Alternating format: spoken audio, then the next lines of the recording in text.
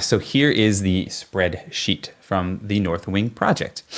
Um, one thing I should notice actually, or I should note before we jump into it is if the sample file for this, um, uh, the actual Excel spreadsheet, as well as some other documents from this project, um, if you're interested in getting those, um, you actually can um, as a member of the BIM After Dark community.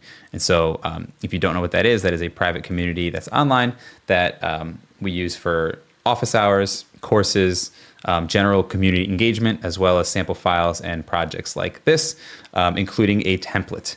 So, anyways, all that's to say, if you're interested, um, feel free to head on over to community.bimafterdark.com and take a look. Um, if you're interested in getting this actual spreadsheet that I'm walking through today and the Revit model, you can actually get them as members of the community. So, here's the spreadsheet. And as you can see, what we'll do is we'll first start with the total down at the bottom, and then we'll sort of roll up and talk about how these numbers came together.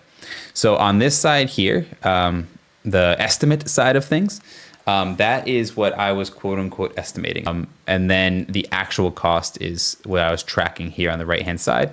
And you can see this spreadsheet also tracks the variance between what what I thought it was going to cost versus what it actually cost, and then was it above or below.